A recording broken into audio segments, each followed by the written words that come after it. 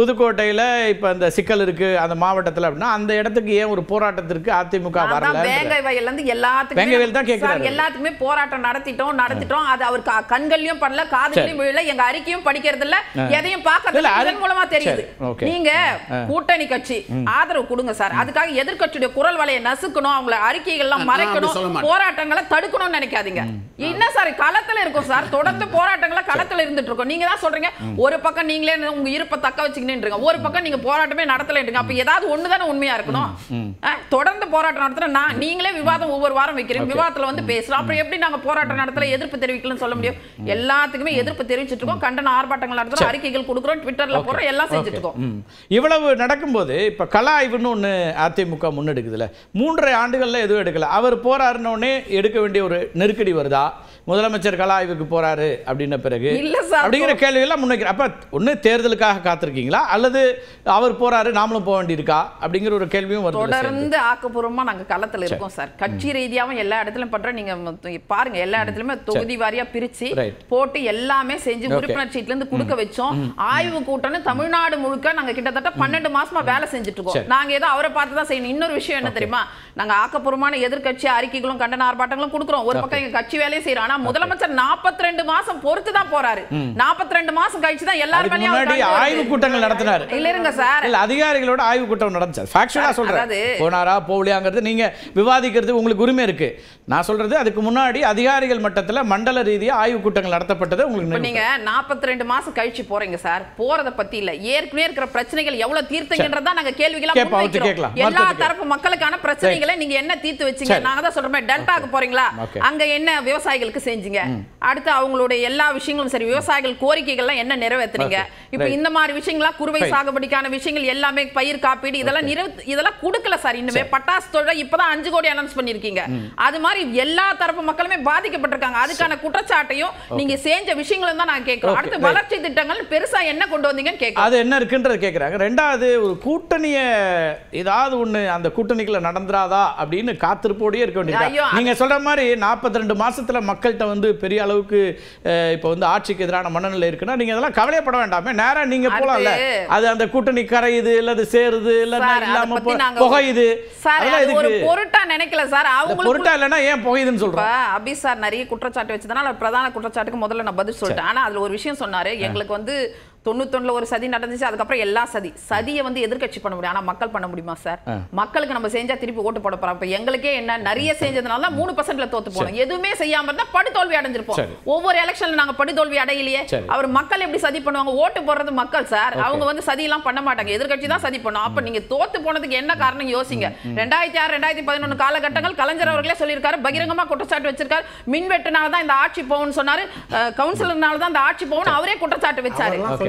அது ஒண்ணு. மக்களுடைய தீர்ப்பை மதிக்கணும். மக்கள் தீர்ப்பே மகேசன் தீர்ப்பு. அப்படின்னா இப்ப கடைசியா மூணு தேர்தல் அவங்க வெற்றி பெற்றது அந்த கூட்டணினா மக்கள் தீர்ப்பே மகேசன் தீர்ப்பு. அப்ப அதுக்கு ஏற்பு இருந்துச்சு மக்கள்னு சொல்லிட்டு போயிட முடியுமா இல்ல? சார் நாங்க ஏத்துக்கிறோம்? நான். ஏத்துக்கிறேன். அதான் அததான் அததான் நான் சொல்றேன். எந்த புள்ளியில இருந்து ஆரம்பமாகுதுன்னா அதை நாங்க ஏத்துக்கிறோம். எப்படி ஏத்துக்கிறோம்னா நீங்க கொடுத்த நீட்டு. Okay. நீட் என்ன? ரத்து செய்யப்படும் நீங்க. அதை மக்கள் நம்பினாங்க. பிரதான வாக்குறுதி என்ன? நீட்டு.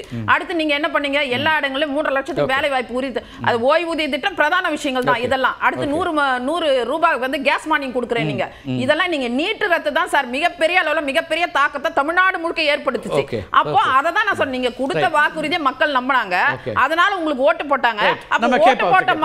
மக்களுக்கு நீங்க உண்மையா. இல்லைன்னு நான் சொல்ல வரேன். ராம்கிட்ட கேட்கணும் அதுக்கு முன்னாடி அஹ், மருத்துவர்கிட்ட ஏற்றுறோம் நீங்க வந்து ஒரு நம்பிக்கை கொடுத்தீங்க அந்த நம்பிக்கையை நிறைவேத்துனீங்களா? அப்படிங்கிறத கேட்கறதும் சுட்டி காட்டுறது எங்க வேலை அதான் நான் செய்றேன் இல்ல அந்த நம்பிக்கையை நிறைவேற்றினதுனால தான் இருபத்தி நாலில் ஜெயிச்சிருக்கோம் நாற்பது தொகுதிகளும். அந்த நம்பிக்கையை நிறைவேற்றலைன்னா மூணு வருஷத்துல அதோட ரெஃபரண்டமா வந்திருக்கும். எங்களுடைய ஆட்சியின் மீது மக்களுக்கு நம்பிக்கை இருக்குன்றதுனால தான் இருநூத்தி முப்பத்தி நாலு தொகுதிகளில் இருநூத்தி இருபத்தி ரெண்டு தொகுதியில் முன்னிலையில வந்திருக்கிறோம். உடனே இது மாநில தேர்தல் வேற பாராளுமன்ற தேர்தல் வேறன்னுலாம் சொல்லுவாங்க. அதையும் கடந்து நாங்க எந்த இடத்துலயும் மக்கள் சதி செய்தார்கள்னு சொல்லலை. மக்களை திசை திருப்புவதற்காக அவதூறுன்ற ஒரு ஆயுதம் பலமாக பயன்படுத்தப்பட்டிருக்கிறது. இந்த முறை அந்த அவதூறுன்ற ஆயுதத்தை அவர்கள் பயன்படுத்தாமல் தடுப்பது எப்படின்றதுக்காக தான் அந்த சதி வேலையை பற்றி தலைவர் எங்களுக்கு அறிவுரை சொன்னாரு. அடுத்தது அக்னியண்ணன் சொன்னாரு. ஆஹ் துணை முதல்வர் பதவி அப்படின்னு. இது உட்கட்சி ஜனநாயகம் சார்ந்த பிரச்சனை. பத்தி பேசணும்? இருங்கண்ணே. அண்ணே நீங்க அதே உட்கட்சி தானே உங்க நேரத்துல பேசுங்கண்ணே. ஒரு நிமிஷம் உங்க நேரத்துல பேசுங்க. உட்கட்சியுடைய ஜனநாயகத்தின் அடிப்படையில் யாரு துணை முதல்வர் ஆக்க வேண்டும் என்பதை எங்களுடைய சட்டமன்ற உறுப்பினர்கள் முதல்வர்கள் முடிவு முதல்வர் முடிவு செய்வார். எங்களுடைய மாவட்ட செயலாளர்கள் யார் அடுத்த பதவிக்கு வரணுன்றதை நாங்கள் முடிவு பண்ணுவோம். இவங்களாம் சொல்றாங்க அப்ப எடப்பாடி பழனிசாமி எப்படி திடீர்னு முதல்வர் ஆனாருன்னு பேசுவோமா? கூவத்தூர்ல என்ன நடந்துச்சுன்னு. அதுக்கப்புறம் என்ன சட்ட நடத்திருக்கோம்? கேடர்ஸ் முதல்வர் ஆனதை? இருந்து. உங்களுக்கு வந்தா கட்சி கேடர்ஸ்?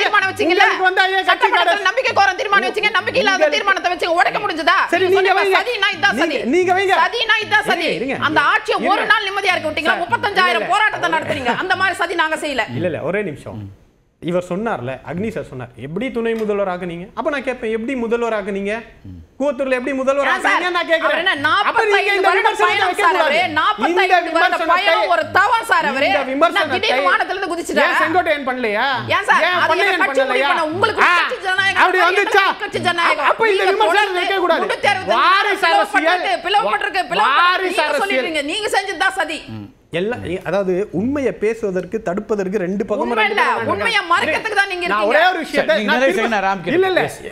நேரம் ஃபுல்லா ரெண்டு பேர் தான் பேசுனாங்க சார். அதனால I request you for some time நான் அதான் சொல்றேன். இவங்க எப்படி எடப்பாடி பழனிசாமி முதல்வர் ஆனார்ன உடனே இது உட்கட்சி ஜனநாயகம் மக்கள் தேர்ந்தெடுத்தார்கள் வழக்கு வந்துச்சு. ஆனா நாங்க எங்க முதல்வரே எங்க துணை முதல்வரே எங்க மாவட்ட செயலாளர்கள் யாரை இளைஞர் நீ ஆக்கணும்ன்றதை ஒத்துக்கிறதெல்லாம் உட்கட்சி ஜனநாயகம் அதிமுகவுக்கு வந்தா ரத்தம் எங்களுக்கு வந்தா தக்காளி. சட்டமன்றத்துல பண்ண. சதிகள்லாம் நாட்டு மக்கள் பார்த்தாங்க ஊடகத்துல.